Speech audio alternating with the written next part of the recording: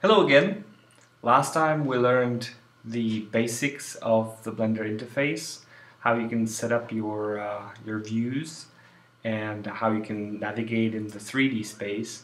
And today we're going to start to introduce how you can actually modify the scene and uh, you do that by applying transformations, very basic transformations. So let's look at that. This is the stuff that essentially we're going to be animating, very basic transformations. What are they? Well, it's movement, scaling, and rotation. And there's multiple ways how you can achieve that. Uh, we're gonna, I'm gonna just flip this to the bottom because I'm used to having it at the bottom. Um, so uh, right now you're seeing these little helper arrows. I don't actually use it. You can you can use them. Um, if you toggle it on, it's going to show up and every selected object is going to have them and you can drag it by the axis to move it. Uh, you can enable rotation and scale as well. So you can scale by an axis, you can rotate by an axis, but I don't actually like that uh, all that much because it, you know, to me it's just visual noise. And you have a very basic um, uh, keys to to actually uh, do the transformations, and those are G for grab, and you can move things in the 3D space. Of course, it's a 3D space, so it's very hard to make out, you know, how I'm actually moving things. Um, so you can still lock on to axes by after you've pushed G and you can move the object, you can push uh, X to move in the X-axis, you can push Y to move in the Y-axis, and you can push Z to move in the Z-axis. Very cool, but that's not, a, not it. You can actually restrict to move in a plane. So if I wanted to move anywhere but the z-axis, so that's the xy plane, uh, I would uh, do Shift Z. So now I'm only moving in the xy axis. If I would want to just uh, do the zx, I would do Shift Y, and that would be zx. And uh, you know, uh, the last one I think it's uh, it was zy, so I would do Shift X, and it would move in here. Uh, very cool, very cool indeed. Now, in many cases, we would want to restrict the movement not only to the axis of the world. Imagine that we would have the cube rotated like that, and we would want to move it upwards, but uh, not based uh, on the world uh, axis system, but uh, the object itself. And we can do that by first selecting the transformation type, so G for grab.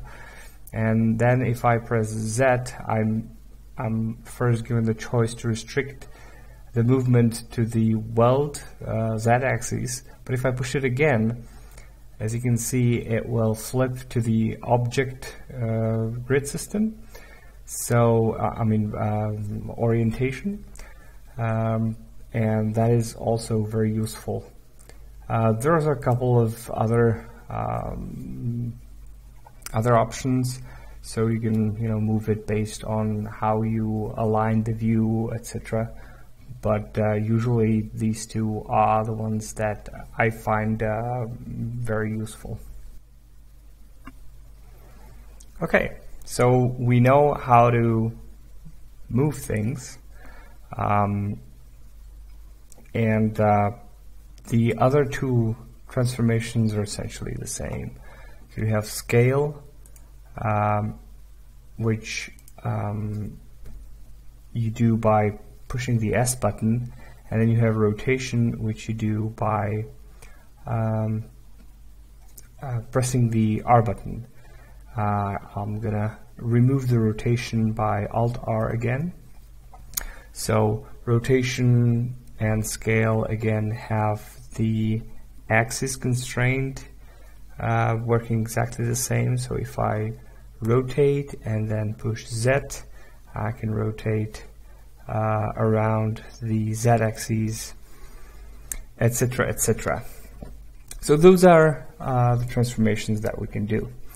The next thing we're going to do is we're going to remove this object. You can do that by pushing the X button and you confirm it like that, but then it does have undo, so if you mess up, you can always do Control Z. Um, and um, because we remove things, I'm gonna show you how to add things as well. Although we do have a camera, I'm gonna remove the two objects. I did that by right clicking the first one, then holding shift and then right clicking the light and again remove this. And um, wherever the 3D cursor is, uh, we're gonna add uh, a new object. Uh, we're actually gonna add camera again. Um, I did this by clicking. Uh, Blender actually does decent job of figuring out where it is in the 3D space that you probably wanted to click.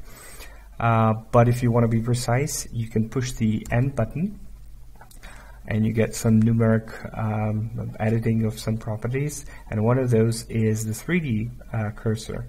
Um, Blender has got these really nifty widgets um, that allow you to, you know, interactively change the value.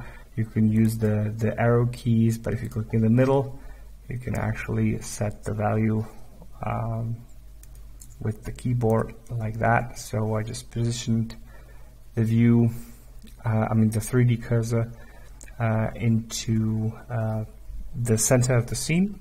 I'm going to push 7 to get the top view and then I can do Shift A to add uh, a camera. You can also use the, the add menu here, uh, but uh, one last cool thing that I'm going to show is that you can actually use search to find anything really in the interface. So if I just hit the spacebar, I can start typing and I will want to, uh, I, I was going to uh, type camera, you can already see that uh, there is at camera um, function there. I don't have to know where it is in the menu hierarchy. It just does it very lovely, very lovely. Um, so we have a camera.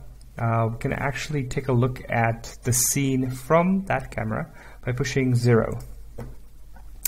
Um, I could also show you that if you're um, you know happy with a certain view that that, that you positioned um, you can um, um, place the active camera to that to that uh, view by pushing haha now I don't know if it's control zero it's probably control alt zero and yes it is so that's that but I'm gonna again reset the position and rotation of the camera by pushing Alt R for rotation and Alt G for a location. But we're gonna move it slightly upwards. Okay, I again pushed G for grab, Z for restricting axes. Now you can see that the camera um, is showing the scene in perspective. Um, if I go to the camera properties here. So in the camera properties, we can set uh, multiple uh, properties of the camera. Uh, and the most important thing in here is the lens type. So we can define how wide we want um, the view from the camera to be. Uh, but one of the one of the uh, modes here is orthographic, which is something that's actually going to be use very useful for the sort of uh, animations that we're going to use. It's similar to the viewport. If you look at the viewport, uh, we're now uh, seeing uh, in perspective. You can easily tell that you know this is the far edge. But if I toggle uh, the view with the numerical keyboard uh, key five, it changes the, the view to orthographic, which is sort of useful in, in many cases when you're you know dealing with um, repeating geometric patterns and you just want to select things. It's actually quite hard for the human vision system to figure out if you have a complex wireframe, which one, you know, which part is it the foreground, which one is it the background, but it is useful sometimes. And so the very same thing um, works for the camera. And we're going to be using that because uh, uh, a camera that, that uses the orthographic view uh, will not scale the object um, depending on how far it is away from the camera, which is useful because um, we will just import uh, the textures at the same scale and we don't have to worry about uh, you know something being smaller than intended etc so the uh, the z-axis, the, the, the, distance from the camera will actually only um, um, define the z order, the how, how things are composited on top of each other. So we're going to use that. And um, I'm afraid that, again, uh, we are slowly uh, running out of the time that, that I have for a, a short YouTube video.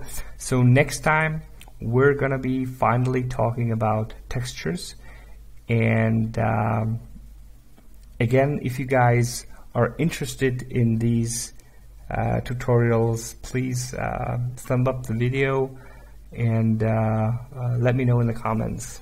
I'll see you next time hopefully. Bye bye